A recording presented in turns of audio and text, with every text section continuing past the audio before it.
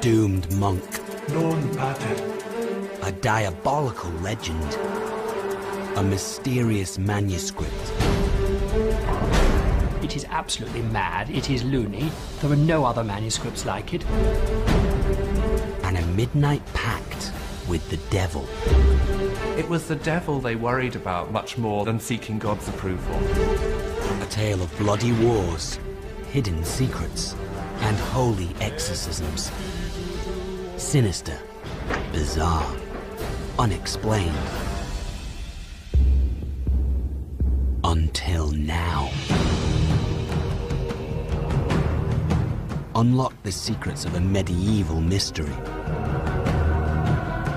As science and investigation uncover the fabled and feared Devil's Bible.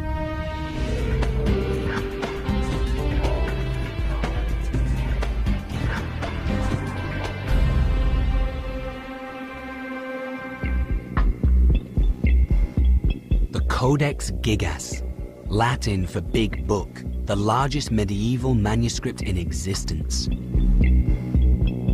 Once considered the eighth wonder of the world, stretching three feet long, weighing 165 pounds.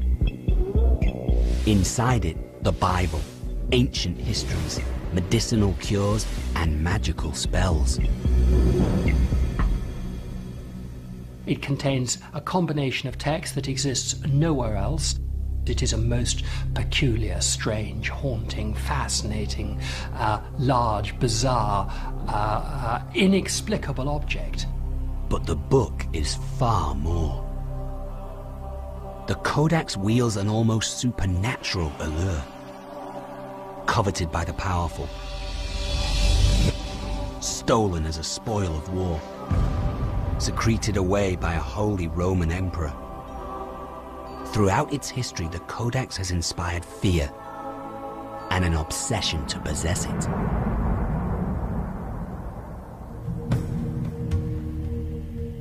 Today, the book's magnetism is as powerful as ever. Though it lives permanently in Sweden, in 2007, for the first time in nearly 400 years, the Codex traveled back to its native Czech Republic. Thousands flocked to see it. The event made international headlines. Few books on earth can cause such a sensation. And there is no doubt anybody who sees this book in the flesh cannot be unaware that it has a certain sort of power. And behind it all is a diabolical driving force. A single sinister figure. Satan. Codex boasts a full-page portrait of the devil. No other Bible on earth features such a sizable image of evil incarnate. No one knows who created it, or why it's there. It is extraordinary and very, very unusual picture. It's unforgettable and it's haunting, and that may be intentional. And there's more. Unexplained, unpainted shadows engulf only the pages surrounding the satanic portrait.